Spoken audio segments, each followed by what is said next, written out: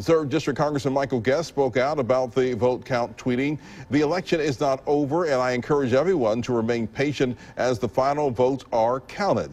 We must see that the results are accurate, the process is transparent, and that all legal votes are counted. We must remain vigilant in this critical time in our democracy.